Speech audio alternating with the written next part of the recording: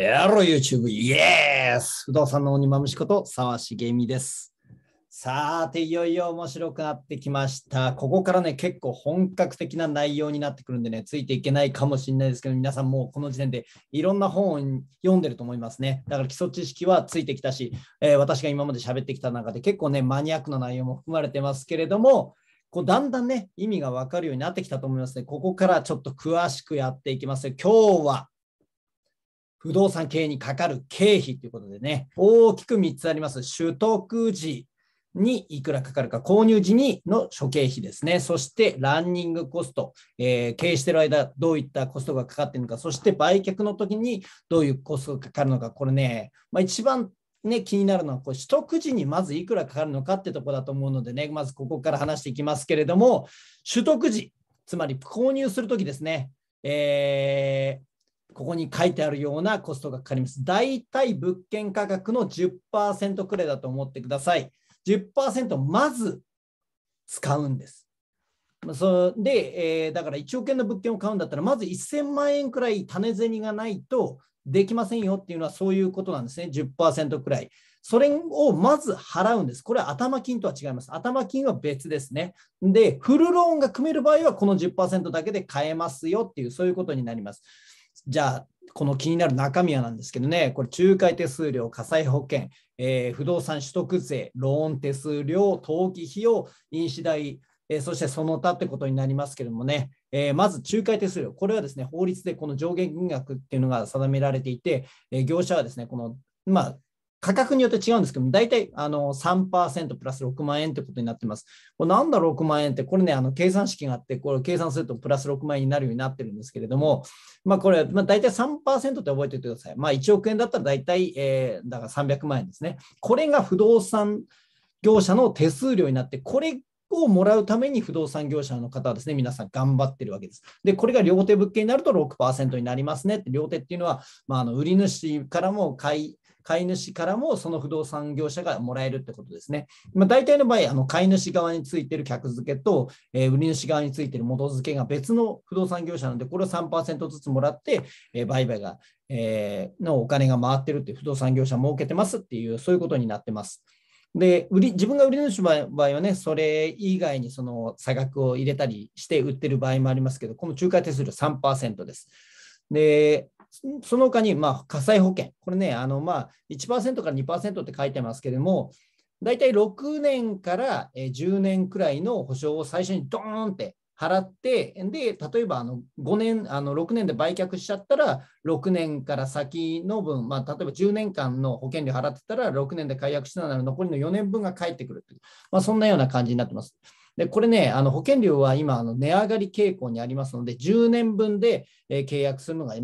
も、まあ、今のね、一番安い保険料で10年間、え確保されるので、その後、まあ、じあの保険料が上がったとしても、もう最初に払い込んでますんで、同じ保証が受けられると。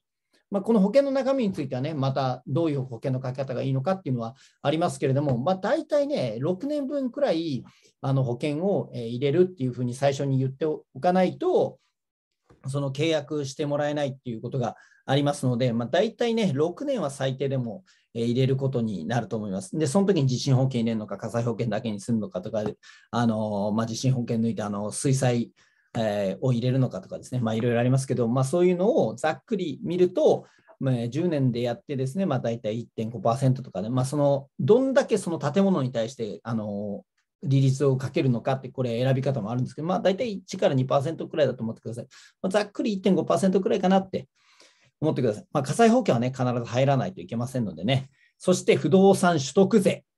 えーこれね、あのー RCS 木造なんて書いてありますけれども、これ、すこれ地方税なんですけれどもね、要は、えーあの市町村長じゃなくて、あのー県が、えーやってます。東京都だったら東京都、えー千葉県な、なんとか県ってこう、あのそれぞれね、あの法律というか条例に基づいてやってますけれども、これ、あのそれぞれ違うのでね、えー見てください。でも、大体同じです。まあ、大体ね、あのその土地、建物の3%っていうことになってまして、その評価額のですね、えー、3%ってことになってるんですけど、軽減措置があるので、まあ、例えばね、ざっくり言うと、まあ、それはあのホームページ見て自分で計算してくださいね。えー、と例えば、あのこう、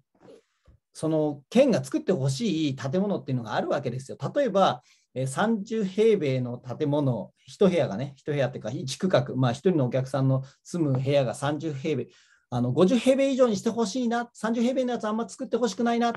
てとかって思ってるわけですね。それとか240平米以上のものは軽減しないとかですね、まあ、あの240平米以上の家を持ってる方っていうのは、これは裕福な方なので、そういうのは軽減措置ないですよとか、だから50平米以上のやつを作ってほしいから、50平米から20 240平米未満の家に対してはこう軽減措置がありますとかですね、それが何個ありますか？とか、あのそういう、まあ、その部屋の大きさによってとかもありますし、まあ、その他あの新築のやつはこうあの、えー、減税が高いとかね、あの古い何年以上なな昭和何年築以前のものは、えー、低いとかですね、まあ、それ全部決まってますんで、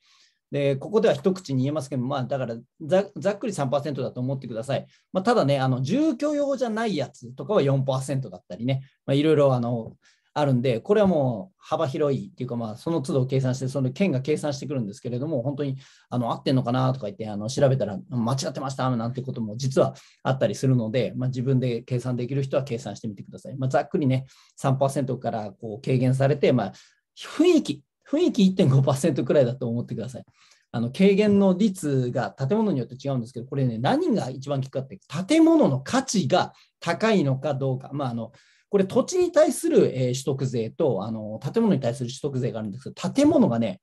高いんですよ。やっぱね。えー、だから RC とかっていうのは必然的にその建物の価値が高くなってますんで、えー、そうするともうごつい、えー、不動産取得税がかかってくるっていう、まあ、計算これがね、結構ね、効いてくるんですよね。まあ、取得税はその取得した次の年にあの課税されるんですけれども、えー、まあそのこれの算定の基準がですね、あの固定資産税、都市計画税とかの、基準にもなってきますので、まあ、非常にこれがあの経営を圧迫している。だからそういう意味では建物の価格がほぼゼロに近いような木造とかですね、えー、S 像、まあ、あの鉄骨の建物とかっていうのはここが低くなってきます。まあ、今回はね、あの弱者が勝つっていう観点から RC じゃなくて、え木造の方がいいんじゃないのかっていうところで言ってますけれども、まあ、こういうところであの利回りが、ね、結構変わってきます。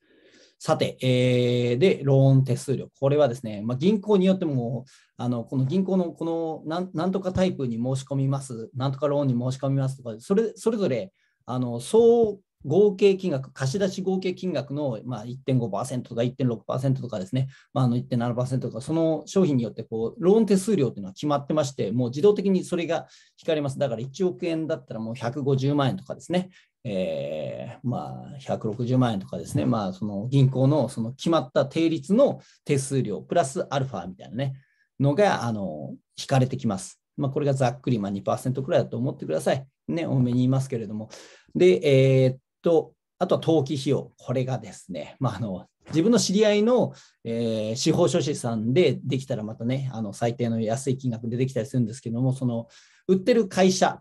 によって、いやいや、この、ね、事務所を使ってください。場合によっては、その売り主さんの、えー、ひいきの司法書士事務所を使ってくださいみたいな。で、いや、両方使ってくださいとかですね、あのこの部分は、土地の部分はここでやって、え建物の部分はここで、え登記してくださいと、なんかね、そういうのがね、決まってる場合があるんですよ。これ、あの要はあの買うときにしっかり言ってないと、もう言うがまま、あの一番ね、高いパターンで取られたりしますんでね、そのたらい回しというか、まあ、これに関してはあのこの法律事務所で、これに関してはこの法律全部足したらね、まあ、大体150万とかになってたりするみたいな、まあ、一箇所でまとめたり、あの、ね、すると、まあ、自分で登記するっていうのもできるんですけど、まあ、大体ね、あの絡んでる、えー、その不動産業者のところが指定してきて、ここ以外じゃダメです、売りませんっていう、まあ、そんな感じなので、あのここはまあたただね、あの安くしたいんだったらあの交渉の余地はあると思います。まあ、でもそれも含めてざっくりね、えー、1, か1%から2%くらい、まあ、1億円だったら200万円とかですね、まあ、もうちょっとかかる場合もありますけれども、でまあ、最低でやれば50万円くらいで済むのかもしれないですけどね、これはまあ人にその司法書士事務所の金額ってことになります。そして、えー、登記費用、あ登記費用がそれですね。えー、で、印紙代。印紙代はですね、あの契約書に、まあ、あの物件のその価格、要は取引額によってまあ違うんですけどね、あのこれもあの印紙税っていうので決まってて、その何億円だったらいくらの、えー、印紙をその契約書に貼らなきゃいけないみたいな、それを分かれって言って、まあ、売り主と買い主で半分ずつ負担するみたいなのがあるんですけど、まあ、大体ね、えー、5000万とかね、まあ、そのそのくらいの価格帯だと6万円っていうふうに決まってるんですけれども、まあ、これあのそれぞれ違います。だからその分かれて半分で、まあ、3万円くらいかなって。だからこれ他の何パーセントっていうものに比べたら、まあ、はっきり言って誤差です。誤差なので無視してもいいんですけど、まあ、そこにプラスアルファってことで、その他ね、なんかあの、ちょっとしたなんか印紙をなんか2000円とかも貼ってくださいとか、いろいろあるんですけど、まあ、もうほとんど雑費っていうか、まあ、無視していいです。印紙代ってまあなんかかかるんだなくらいでいいですけれども、だからこの3%、2%、えー、まあ2%、ね、あの、仲介手数料が3%、火災保険2%、えー、不動産取得税まあ2%、ローン手数料まあ1.5%、で、登記費用がまあ1.5%とかね、まあ、それを全部足すと大体10%くらいになってて、これが頭金とは別に最初にかかる不動産の費用ってなります。もうこれね、結構ここまで解説してる本ってね、案外少ないんでね、まあでも、あの、エクセルを自分で作るときはね、これ全部、あの入れますんでね。で、こんなの計算できないよって言っても、あの、要は、あの不動産取得税の根拠となる数字とかっていうのは、そのこあの前のオーナーがね、持ってる、あの固定資産税、まあ、こと税っていうんですけど、固定資産税と都市計画税まとめてこと税っていうんですけど、それのまあ明細とかに載ってたりするので、大体わかります。でそれをこう入れてって、あなるほどねこの、この建物はこのくらいの価値と、国というか、まあ、あのその地方工業団体が思ってるんだなっていうところ。で、まあ、全部あの買うときに業者が出してきますんでね、仲介手数料いくらで、えー、火災保険こ、これがおすすめですみたいな。で、あのこれだと何パーセント最低でこのくらいですみたいな。で、まあ、見積もり出してくるんで、それをガバッと自分のエクセルに入れて計算する。まあ、その他なんですけれどもね、やっぱりあの最初いきなりもう、買いました残り0円ですだと、やっぱこれきついですよね。あの最初、あのその空室のガラガラの汚い部屋をやっぱきれいにリフォームして、お客さんに、まあ、一撃でね、あ、この部屋にしますって言ってもらわないといけないですし、あのね、これ一撃でね、決めないと、次からの不動産業者がその部屋紹介しなくなりますんでね、うん、まず一撃で決められる部屋にしてください。で、やっぱりそこには募集広告料のその広告宣伝費っていうのをこう余分に出してあげなきゃいけないとか、その不動産会社にね、一番効率的にやるのはね、あの自分がどんなにいい人間なんですなんて言ってもね、やっぱり分かんないので、心づけをね、こうつけてあげるとかですね、まあ、ここはまた次のあの番外編のところでやっていきたいと思いますけど、そういう心づけの費用とかですね、あのそういうものをど初期費用としてつけていって、客付けして、まあ、いち早く満室にするということです。まあ、いや、じゃあ結構かかるんですね。これ以外にね、手付金とか頭金とかこう要求されたらま入れなきゃいけないんで、やっぱりね、不動産っていうのは投資、その価格がかかります。じゃあ次にね、ここの、こっちの方がね、重要なんですけどね、えー、ランニングコスト、まあ、つまりその物件を持ち続けることによって毎年毎年出ていくコストですね。この最たるものは何か最たるもの、現金一括で、ね、買ったらこのローン返済っていうのはないんですね。でも現金一括で買うんだったら、あのー、その不動産の一番のメリットである、え、ローン、つまりあの人のお金でね、人のふんどしでこうできる。これから借りるものを担保に、これから借りる土地を担保に、えー、大きなお金が動かせる、レバレッジが効くっていうのがこう不動産投資のメリットなので、これはローンを組んでると思うんですね。で、ローンの中には大きくその利子と元本があって、元本の分だけどんどんその、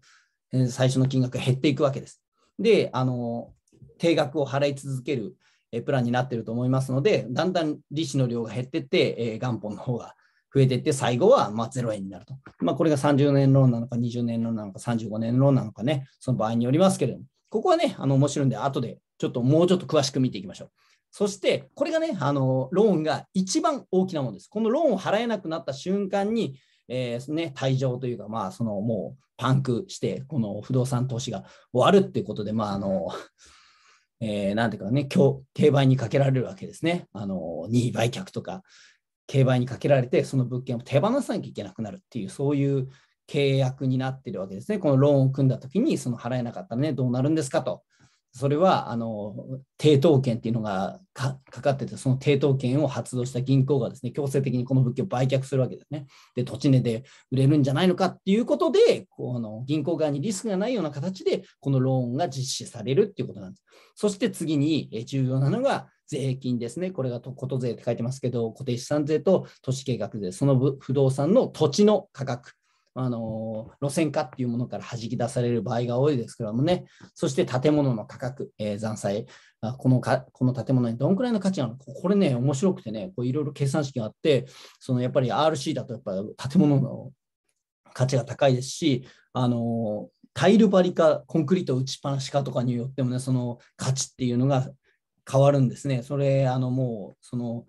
地方公共団体によって、えー、もう決められていると思うんですけど、まあ、こういう、これこれこういうあのことで、この建物の価格はいくらなんですっていうのをまあ弾いてくれてるわけですね。だから、あの高い建物、価値の高い建物だと、まあ、その高い税金を払うということで、これがめちゃくちゃ効くわけです。要は、木造とかだとこれが少ないので、えー、まあ、利回りっていうか、キャッシュフローが改善される。まあ、まあ、もちろんね、一番聞くのはいくら、どんだけ安く買うのかっていうことなんですけれどもね、そうしだからこの税金、これはですね、計算して見逃してはいけません。絶対に。そしてこの税金が払えなくなったらね、他の中前積立金とかか管理手数料とか、もうローン返済も利子だけ払ってくればいいですからね、最悪。利子払ってれば、あのえー、その向こうが抵当権をね、あの強制的に発動するっていうのはこれなかなかできないのでね、えー、でも元本も払ってくださいね。でもこの税金を払わなかったらどうなるのか。もういきなり差し押さえですよ。まあ、まあ、若干猶予ありますけどね、あの国こそが最も、ある意味、ヤクザよりもですね、一番強権を発動できる、もうで裁判でも必ず勝つっていうね、まあ、裁判まで行ったらもうそのめんどくさくて終わりですけどもね、あのもう国の税金だけは何があっても胃の一番に払ってください。あのローンの元本よりも重要に払ってください。だからこのローンと税金が払えなくなったら、これはもう、もうこの物件はアウトです。んで、それがどういうふうに計算できるのか、この後説明しますね。で、まあ、とりあえず、あとは修繕金と修繕積立金。やっぱりね、退去が出ると、その部屋直さないといけないね。ペンキ塗ったり、まあ、あのペットがガリガリやったとこね、ペンキ塗ったり、あの、もう、どう、この部屋ねど、どうやったらこんなに汚くなるんだろう、こんなカビだらけになってみたいな部屋もあるわけですよ。これどうやったのかなって、なんか水出しっぱなしにしてたのかなで、そういうところはまあ床からね、直したり、あの壁も直したり、あの場合によってはね、なんかあの木が腐ってたりしますんで、そこをね、パテで直したり、まああの、もうそういうことしなきゃいけない。この修繕金っていうのは結構多く見ておいてください。そしてその修繕金がいつ払ってもいいように、やっぱ修繕積立金っていうのを自分の中でこう計算してね、えー、まあ木造だったらその年間400万とか、まあ予算を取ってそ、それをこう積み立てていくわけですよ。そういうものを、え準備してください。その他にですね、管理会社手数料等ということで、まあ、管理会社には平均相場、その家賃、総家賃収入の5%入れます。まあ、これはあの総家賃収入に対してなので、まあ、固定費というよりもどっちかって変動費みたいなものですね。まあ、固定費と変動費の違いがわからない方は、まあ、あのネットで調べてください。あ澤さんわかんないっすじゃなくてね、もう本当にネットで叩けばすぐ出てきますんでね、固定費と変動費。まあ、これ変動費。まあ、大体ざっくり5%くらいです。まあ、ただね、うまいことやってる場合は、えー、管理会社とね、3%の契約してますとかね、無理やりあのやったりしてるんですけれども、そういうとこはね、やっぱね、サービスが悪いんで、やっぱり相手にも勝たせてあげないといけないので、えー、管理会社も勝たせて、で、お互いね、えー、いい関係にするということで、まあ5%くらいかな。これがサブリースになるとね、8%とか10%とかありますけども、サブリースはね、絶対しないでくださいね。えー、どうしてもお金が余ってしょうがないんだっていう方はサブリースでもいいですけど、向こうがね、勝手にあの、家賃を下げてきたりしますのでね、まあ、そこのサブリースが怖いですよって話はまた別の回にあります。えー、で、5%くらい管理会社。その他ね、公共、公共場所、まあ、例えば廊下とか外の伝統とか、その、要はあの、自動販売機をね、置いてたら、その自動販売機の電気代っていうのは、その各部屋にメーターついてないですね。その公共の電気料金はオーナーが払うっていうことで、まあ、そやりますし、例えば清掃をね、自分でやってる人もいるかもしれませんけれども、あのシルバー人材センターに頼んだり、専用の業者に頼んだり、まあ、例えばゴミ捨て場がありましたと、そのゴミ捨て場のね、ゴミの分別が悪くて、全然回収してくれない、そういう自治体もあります。ね、あの空き缶の中に1個だけそのペットボトルが混ざってて、はい、回収しません。そんなね、あのところもあります。それとか、あの普通のこのゴミ袋に入れなきゃいけないんだけど、そのゴミ袋に入ってないから回収してないとかね。まあ、いろいろあるんです。そういうゴミ捨てを、こう、まあ、なんか業者に頼んだりとかですね、まあ、そういうなんか、その物件を管理する、まあ、あの、例えばその散髪じゃなくて、あの、木、植生を切ったりとかですね、そういうのを外注していれば、そういうのが入ってきますね。だから、あの、私はね、木の大きい木がいっぱい生えてるところはね、なるべく買わないようにして、まあ、生えてても、もう最初に切っちゃうんですね、もう全部。もう丸裸。で、なるべくその柵とかもこう少ない感じにして、その要は手間がかからないように仕込んでいく。で、まあ、草生えますよね。そこにこう除草剤を、あのー、毎回撒いてもらったりとかですね、お願いしたりとか、これ結構あの手間になりますよ。で、これ自分でね、買っても買ってもね、毎年もうすごい自然の力はすごいですかね。自然の力を 侮ってはいけません。もうね、木なんかね、根元からね、切っても、そこからまた生えてきて、次の日に結構ね、次の日というかあの次の年になったら結構ねあの高いところまで木が生えてたりするんですよね。うわ自然って強いなってもその思いますよ。でそういうのがねあの古い木とか倒れて隣の家に迷惑をかけてたりするんでねもう切っちゃいます。あはい。あとはですね、それ以外にこうランニングコストとしてかかるのは、えー、リスク金ですね。これリスクっていうのは、例えば水道管が破裂したとかですね、まあ、例えば水道管がその RC の中で、こうね、水道管ってね、必ずなんかポタポタポタって漏れ漏れるんですよ、少し。その漏れたのがこう RC の中を伝わってね、どこからね、雨漏りしてんだかわかんない。これ水道管がどっかで行かれてんじゃないかとかですね。まあ、そういうのはあのパイプスペースとかあの、要はチャンバーっていうこうガチャって開けるとガス水道が入ってるとか、そういうのがないなかったらね、もうね、アウトですからね、もう直しようもないみたいな、もうコンクリートどっか破壊しても見るしかないみたいな、まあ、そういうリスク。まあ、これ、どういう物件を選んじゃいけないんだっていう回は、また後ほどね、あの準備して、これはね、爆発的にお金がかかるとか、例えばその水槽がついてて、その水槽、浄化槽の中で3日水を溜めて、そこからこう水道が出てますよって、この浄化槽の水、あの、が壊れてたりね、浄化ポンプがいかれたりとかですね、エレベーターがね、死んで、はい、いきなり1000万、2000万とかですね、だからエレベーター付きとか浄化槽付きのやつはね、よくよく考えないといけませんよ。まあそういうリスクですね、リスク。それとか、やっぱりね、雨漏りとかね、まあ、の台風とかでなったやつはその保険金スキームで、その保険金でね、あの直していただけるんですけれども、まあ、そうじゃないやつとか、この保険金っていうのは火災保険でね、やりますんで、まあ、そこは別の回で説明しましょう。でもね、このリスク金っていうのは必ず見るんで、この修繕積立金の中にこのリスク金入れるようにしてください。ということで、ランニングコストはあのこういうふうにかかるんですけど、これ今聞いてね、大体、えー、そんなかかるの怖いよと思いましてね、だから私言ってるんです。利回りが20%以上なかったら、やる意味ないよって。ね、あの、本当ね、新築だとね、この修繕とかがほとんどかかんなかったりするんですけれども、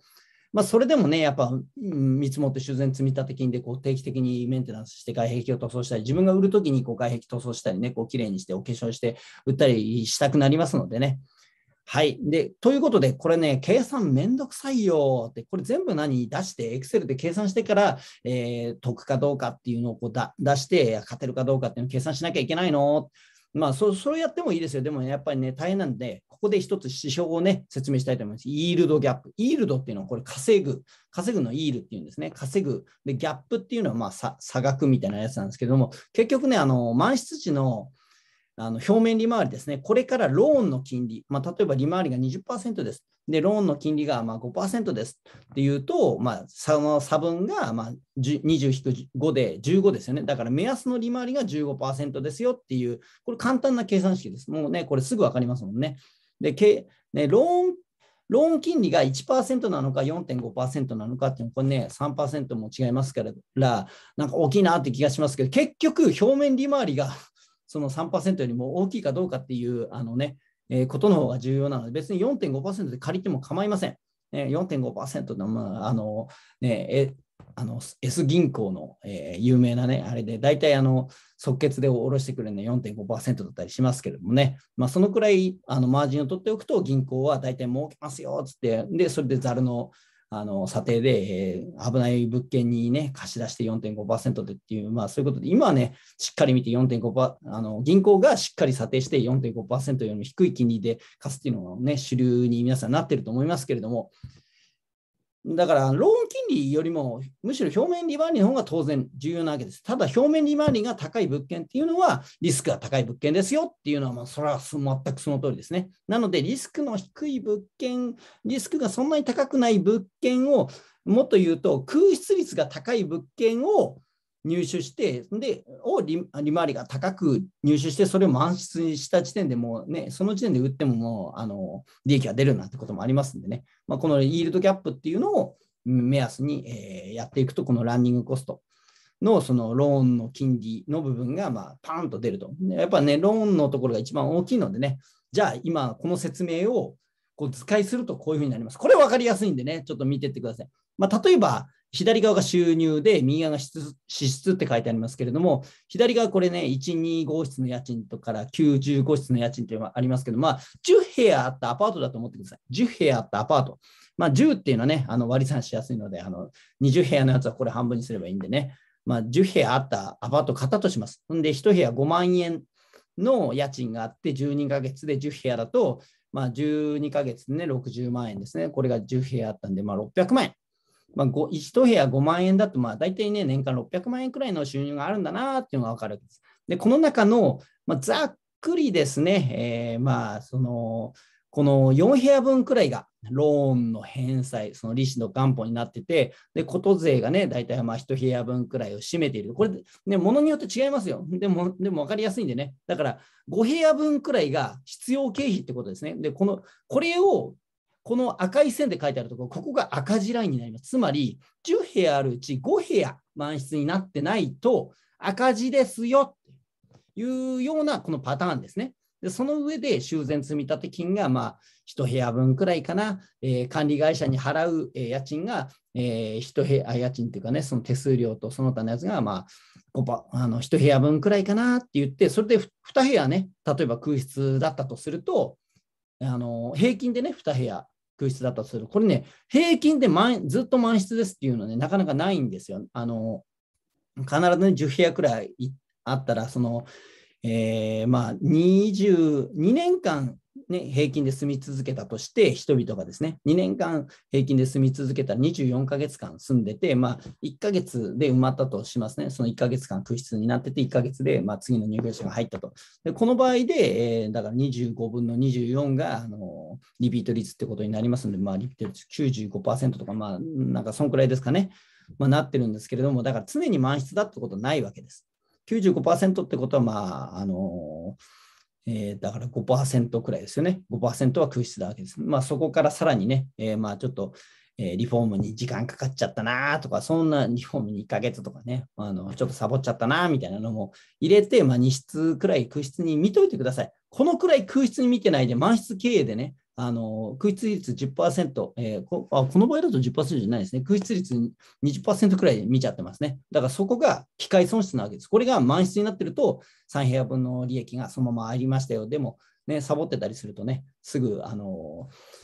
この20%くらいあの空室換算、まあ、そのくらいしても利益が上がるように、やっぱ見とかなきゃいけないですね。だからこの場合だと、2部屋分の、あのー家賃の機械損失があるので、利益はこの1部屋分ですよ。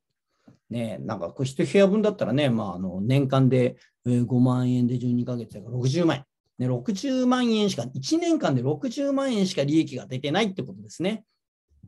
いやこれだったらね、なんかやってもしょうがない。でも、算出分常に満室にしとけば、えこのキャッシュフローって書いてあるこの上のところがですね、だからサブ68、180万円くらいがこの物件、えー、600万円の物件で180万円くらいが手元に残りますよって、これがあのキャッシュフローになるわけですね。でもまあ、このね、私のやり方をやれば、その最初のそのローンのところが圧縮できますと。つまり、どれだけ安く買うのか、ここがポイントなんですね。で、こうすれば、安く買えば、ローンの利子,、ね、利子の総額も元本も少なくなりますし、まあ、こと税とかね、修繕積立金とか変わらないですよ。で、その、それでいて、かつ満室率を上げるっていうことで、利益がこうふ広がっていくわけです。だから、この、この中でどれですか？下げられるのは、これはね、ローンの金額が下げられるんですね。どうやって下げるんですか？それは安く買うってことなんです。で、空室が減るっていうことがキャッシュフローを改善するわけですね。にもかかわらず、実は多くの、ね、例えばあの都心、都心とかあの、まあ、要は東京、神奈川とかですね、まあ、そういう土地代が高いところは当然ね、土地代が高いので、まあ、建物のたが、ね、あの高くなりますよ。鉄筋コンクリートはとかになるとね。そうすると、このローンの返済自体が高いわけです。で、高い利率でやると、このローン返済が高いわけですね。だから、それって満室じゃなかったら回んないし、満室でもお小遣い程度じゃないの？みたいな物件に、もう最初からね、あのまあ、不動産屋にね、こう載せられてっていうか、不動産屋が勧めた物件っていうのはそういうふうになってますからね、なぜならば、利ザヤを取るためにあの高く売って高い金利で、えー、やってますんで。そうするともうね、はっきり言って10部屋あって、6室埋まってないともう損ですよっていう状態から、ね、修繕積み立て、あの新築とかだとね、修繕積立金下がってきますけれども、まあ、さらにこう悪い物件の場合には、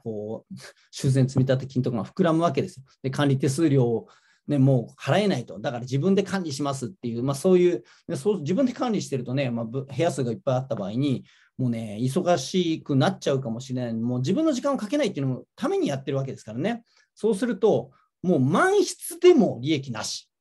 満室でも利益なしみたいになるわけです。で、まあ、もう救出だと損だっつって、ね、あの10室中9室満室なんだけど、1部屋空室だからもうどうしようもないよ。だって手出しになってるよと、この足りない分自分のね、お給料からあのこの不動産のために出していくっていうような感じなんでね、早くローン終わらないかなとか言って、あのまあ、例えば20年ローンとかね、10年ローンとか15年ローンとかで組んでたら、その返済額上がっていくわけです。だからその15年間なんとか耐え忍んでそこからだみたいな、あのワンルーム投資なんかね、典型的にこのパターンですけれども、あと駿河スチームで、えー、4.5%でやった場合とかですね、この感じですけれども、だからもう自分のその労働力でこの物件にこう投入してってなんとか辻褄が合うっていう、要はキャッシュフローがない状態ですよね、もう。で、しかも、もう、10室中9室なんだけど、もう満室じゃないから赤字だよって言って、じゃあどうして、どうやって満室にしようかなって、もう家賃を下げるわけです。家賃を下げたらですね、このもうもっと悪くなっていくわけですね。えー、でも都心だとその家賃以外にこの競争できないわけですから、あの他のスペックが、ね、周りのやつと高いので、結局ね、高づかみしちゃってるんですよ。こういう物件は。高づかみで高い金利で、えー、高い税金でで、高い修繕費っていうかね、持ち出し。まあ、そうするとね、あの、キャッシュフロー出ない。もう、で、こういう人は、あの、まあ、高い物件掴んじゃったねって言って、まあ、もう、最初はね、あの、新築プレミアムとか、まあ、その、あの、せ業者が設定した高いサブサブリース料とかでなんとか回ってるたりするんですけれども、まあ、だんだんね、もう退場することがもう目に見えてるっていうような物件をつかまされてる、もしくは勉強不足のために掴んでしまったっていうパターンありますね。だからこうならないように、まあ、こうなるようにですね、これ見てください。あの普通のパターン、普通のパターンね、ローンが多い。で、この安く買えばこういうふうになる。まあ、損益分岐点のこの赤い線が下がってますよね。これがいいんです。ちなみに私の物件は大体ね、あの10部屋中2部屋から2.5部屋くらいで回るように、まあ、要は20利回り20%で買って、さらに金利を上げて、えー、25%にする。それを、まあ、大体ね、空室率50%くらいの物件を買って満室にして、まあ、売ってもいいですし、まあ、そういうね、そうしたら、満室にしたらね、みんな買いたくなりますんで、でこれ空室率50%だったらみんな買いたくないので、安く買えるわけですよね。はい、そういったような、えーまあ、つまりこう、ね、ここまでね、赤字ライン、あの損益分岐線が上がってしまうと、もうね、もう何のためにやってるのか分かんないですね。はい。ということで、まあ、これを目指すように、これはいつ決まるんですか？これも買うときに決まってます。だから、この値段で買えば、この物件は勝てる。この値段で買ったら、この物件は勝てないっていうのが、まあ、最初に計算する。そのエクセルで自分で計算してください。はい。ということで、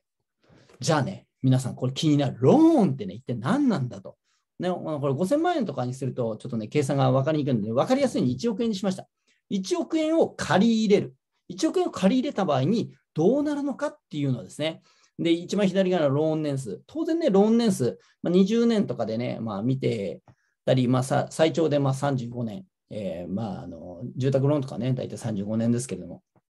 これね、あの物件の残りの耐用年数、えー、減価償却の期間を超えているけれども、35年で借りられるのかって、まあ、これね、借りられる時もあります。あの銀行の、ね、姿勢やその時のタイミングなんかによってね、結構変わりますんで、うん、早く返したいんだったら20年、で30年かな、で30、長くしたいんだったら30年、長くすればね、あの1月あたりの返済金額が下がっていきますんで、あのキャッシュフローが出やすくなりますね。だから30、これはもうね、セオリーとしては一番長く借りてください。それで、まあ、余力があれば、あの繰り上げ返済と。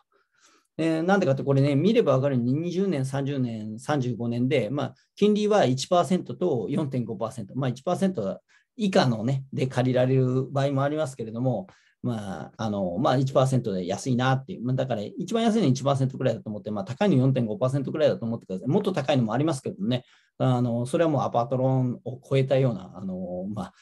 あの、資金、事業資金として借りて、えー、それを不動産にやってるなんて、そのパターンもあると思いますけど、まあ大体1%から4.5%くらいだと思ってください。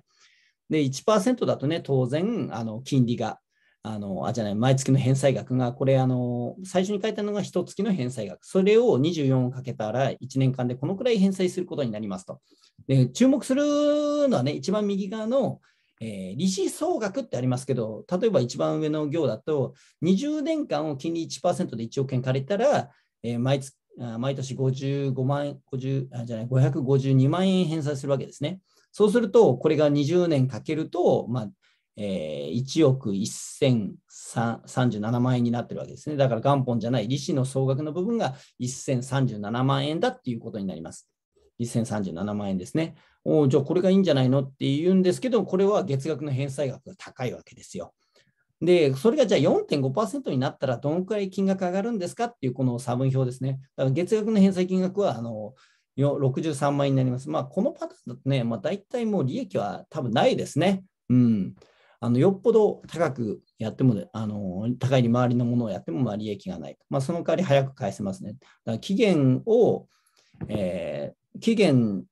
をキャッシュフローに、要は時間をキャッシュフローにしてるわけですから、これ、まあ、できるだけ長くした方がいいですね。でも長くしたいって言っても銀行がうんって言わないかもしれませんので、まあ、そこは調整次第です。まあ、でもこういうふうに推移していくわけですね。だから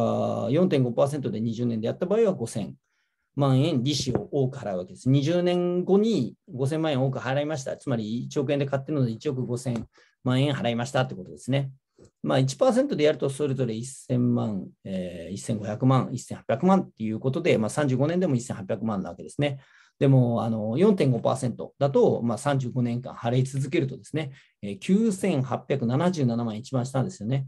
あの利子を払うと。つまり1億円借りて1億9800まあ、約2億円を最終的に払ってるってわけです。うわこれもったいないと。これもったいないんじゃないんです。時間、その代わり、今1億円を手に入れて、その1億円の物件でレバレッジを効かせているので、要はそのレバレッジを効かせて入ってくるキャッシュフローが出たのは、その銀行さんから1億円貸してもらったからなんですね。だから利子を1億円くらい払って当たり前なんです。だから、あの1億円借りて2億円返す。これが4.5%で35年間あの借りるっていうことですね。これはあの誰が計算してもこうなると思いますので、まあ、要はあの、まあ、別にそんなもんですと。そうですね、まあ、こういうふうに、まあ、1%で借りたらどうなのか、4.5%で借りたのか、それでもね、あの十分に利益が出てるんだったら、4.5%だったら借りられるんだったら借りてください。えっ、ー、と2年後ぐらいにね、あの借り換えをその銀行でやってもいいし、まあ、他行でやってもいいし、またね、その返し続けてるってことが実績になって、あのより低い金利で借りられたりしますので、この借り換えですね。で、あの担保入ってたのが担保抜きになったりですね。えー、まあ、そういうふうに、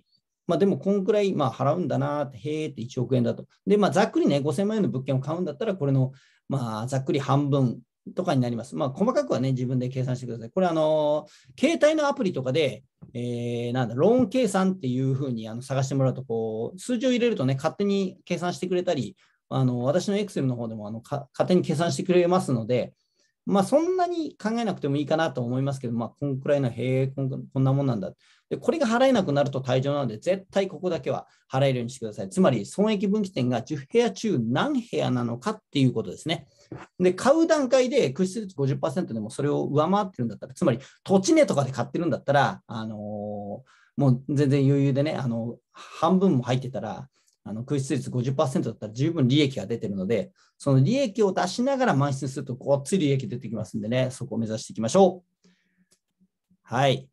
それで、えっ、ー、とね、さっきね、あのランニングコストのとこでね、あの気づいた方は気づいたと思うんですけれども、えー、礼金とか敷金とか仲介手数料とか広告料とか、えー、清掃鍵変更、修繕とかね、入ってねえんじゃねえのあのランニングコストの中にっていうふうに思った人、こうね、鋭いですね。入ってないんです。でもね、まあ、ここでちょっと説明しますけれども、あの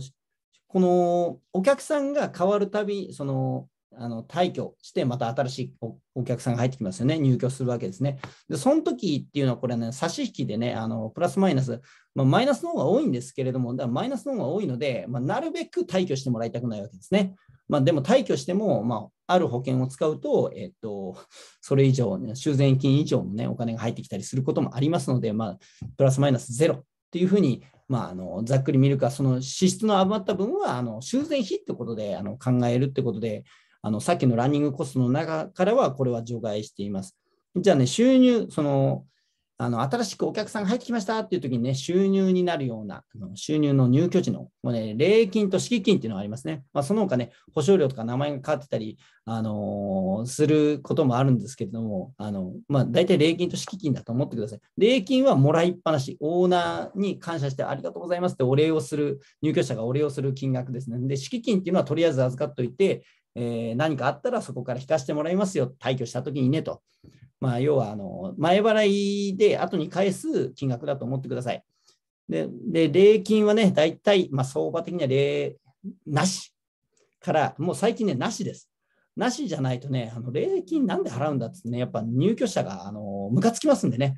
ね、もう礼金はなくていいと思います。まあ、大体0から1ヶ月くらい。それでも入ってくる人気物件っていうのは、まあ、1ヶ月とかね、2ヶ月とかしてる場合もありますよ。で、敷金です。で敷金は、まあ、そう、あの、敷礼00物件、00物件と、00物件検索とかってあってね、まあ、そこでみんな選んできたりするんですけど、00って何が00かっていうと、敷金と礼金が0ヶ月分ですよっていう、そういうことですね。で、敷金が0だと、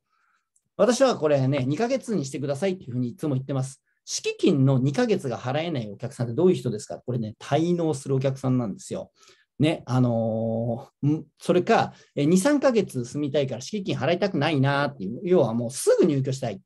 ででもね、そういう方っていうのは、残念ながら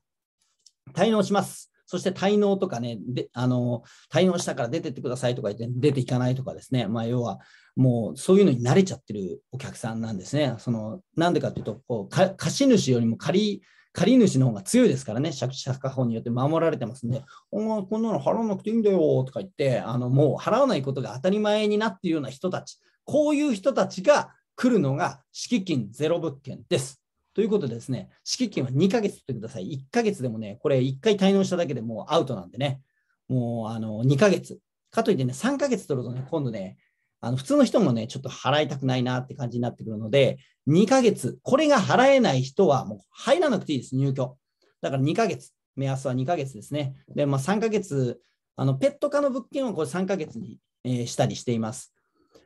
うんそそういうふうにね、まあ、色をつけたりしてもいいんですけれども、まあ、大体2ヶ月かの、で、ペット化の場合はもう3ヶ月で焼却って入れちゃう。焼却っていうのはこれね、あの最後、あの修繕金がそれ以上かかりますので、えー、もう返金しませんよ、もうそれを焼却させていただきますっていうのを、まあ、最初から契約書に書いておくわけですね。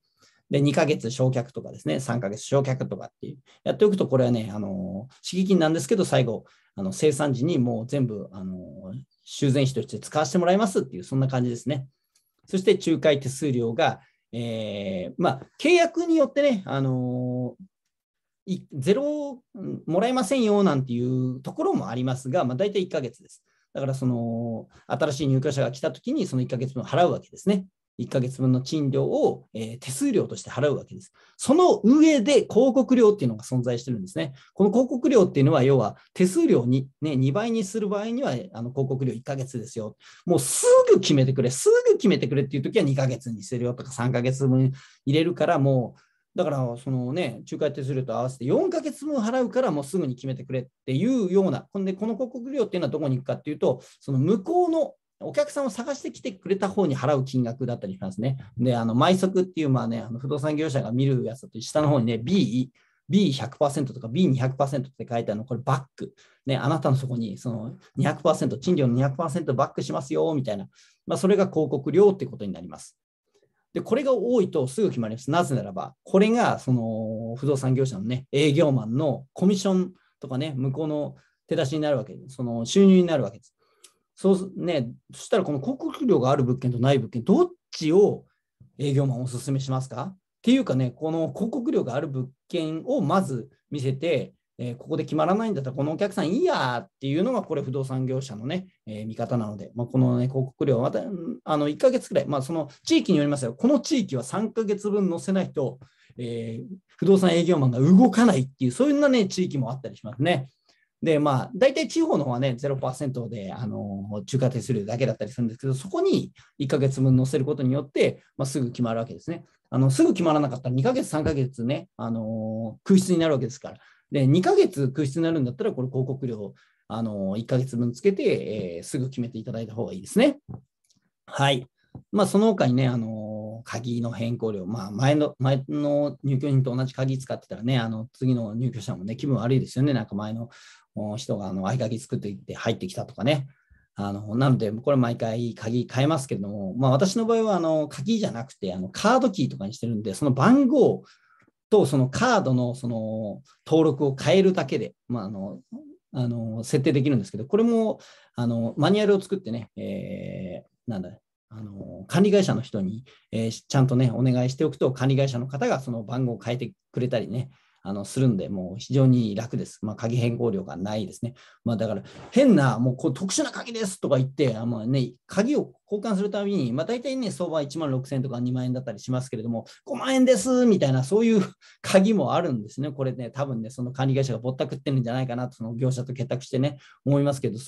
まあね、なかなかその管理会社を変える地方、その同じところに管理会社を変える他の代替案もない場合もありますんでね、管理会社と仲良くやって、でもね、この鍵変更料はまあバカにならないですね。で、清掃料っていうのはまあ部屋によりますけれども、まあ、まあ、大体ね、2万とか3万とか5万とか、あの70平米くらいだとね、5万くらいが相場かなって、半分だと2万くらいが相場かなみたいなのありますけれどもね。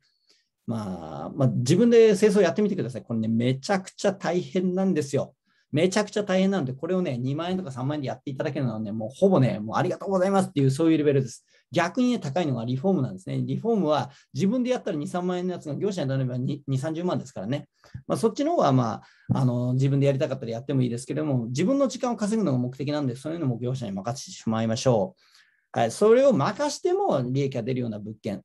ね、あの見ていきましょうね。ということで、清掃の鍵変更とかをまあ大体合わせて込み込みで約1ヶ月かなっていうのが相場で、まあ、それはもう払ってくださいねと。で、修繕。これはね、あのその前の方がどのくらいきれいに使ってたのか、これによります。で、これはね、あの一般損保だとね、なかなか難しいんで、あ、じゃね、そあのそ保険がね、その部屋にかけてる保険があると思うんですけども、それが短期、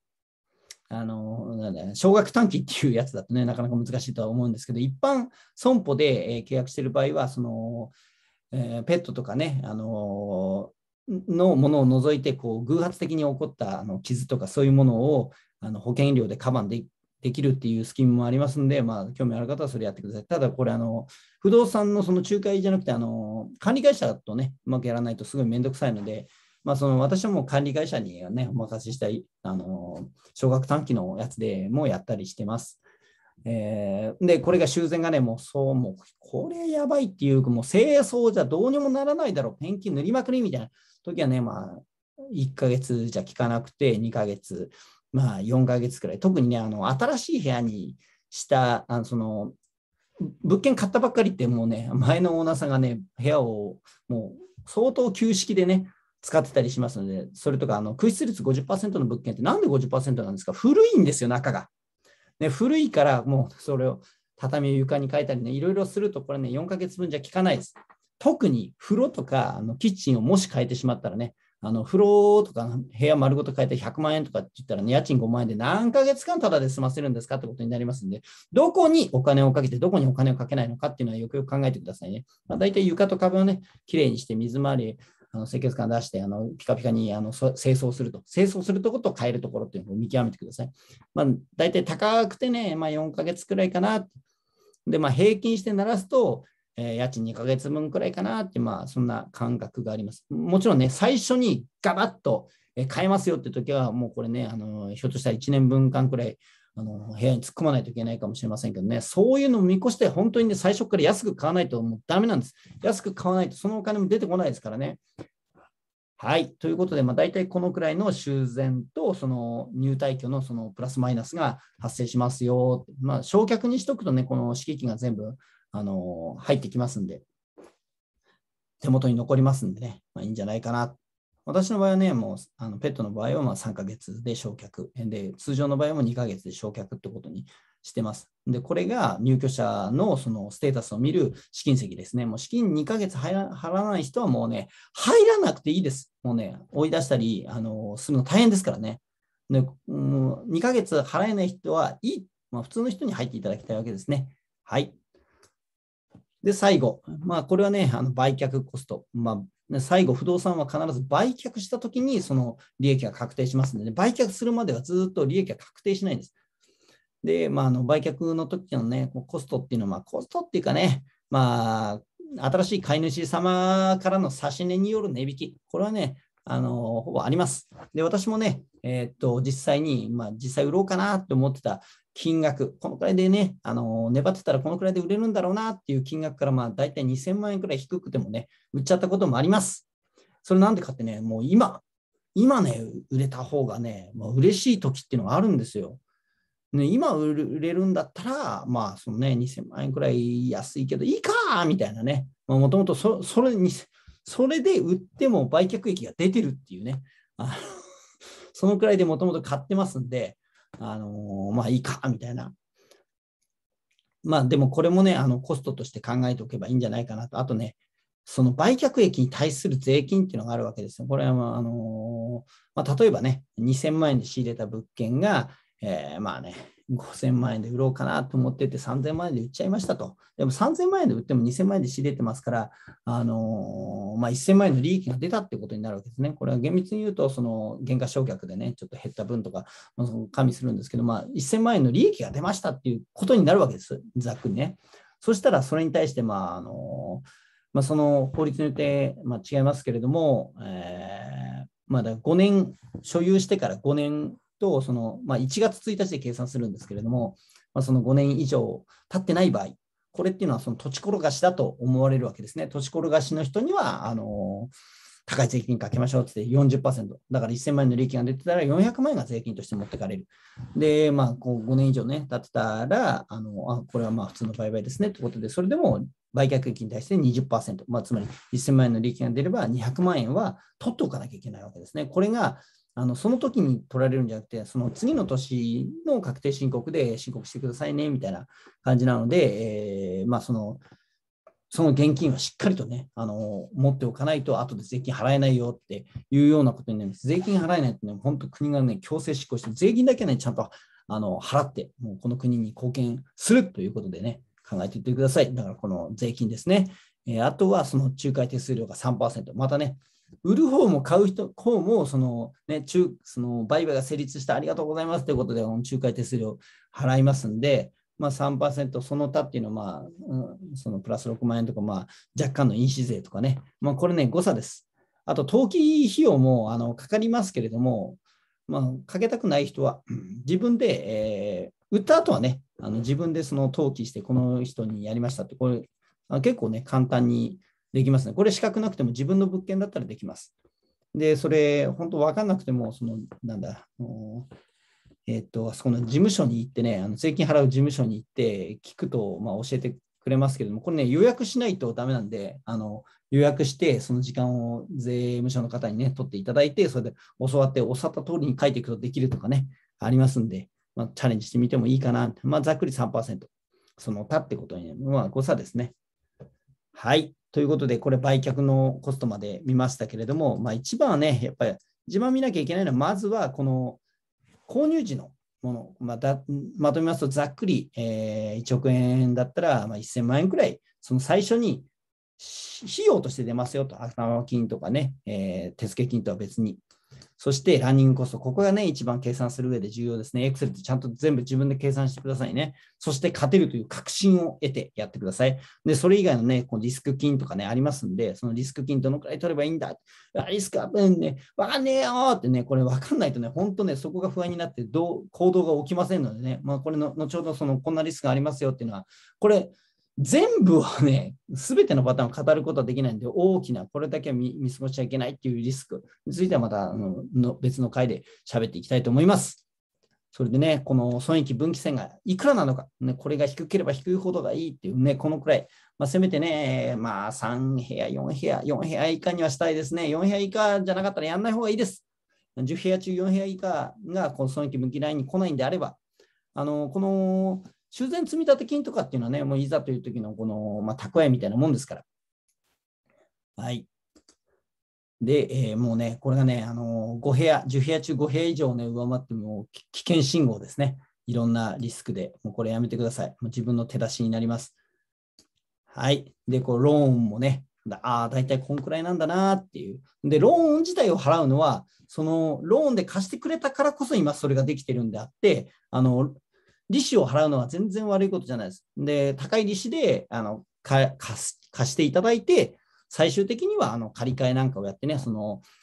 えー、圧縮していくと、利益を上げていくっていう、まあ、そういうやり方を今後、ね、自分で勉強して、えー、この中で勉強していきましょう。で、まあ、ランニングコストはね、入退去、なるべくね、入退去なない方がいいんですけどね、ずっと借りてくれる、あのー、その人がいいですと、手間がかからなくてね。うん、はい。ということで、え今回は不動産経営にかかるコストっていうことで、だいぶね、詳しくなってマニアックになってきてね、皆さん、あのお怖いよ、怖いよ、な詳しい、えー、こどの物件買えばいいんだみたいになってきたかもしれないですけどね、これを自分で勉強してください。なぜならば、この物件があなたの人生を、ね、自分で、本当に自分のやりたいことにだけ時間を使うっていう、こうファイナンシャルフリー、ファイヤーするためにですね、もうこう助けになってくれる二人三脚してくれるこの物件なわけです。ね、しっかりと考えて、えー、いきなりね、大きな勝負をするんではなくて、いろんな感触を確かめながら、堅実に、最初は堅実に、どんどん大胆に行動してですね、えー、実績、その、やっていきましょう。はい。それでは本日の、えー、シェアは以上になります。いやー、今日も面白かったですね。それではまた次回会いましょう。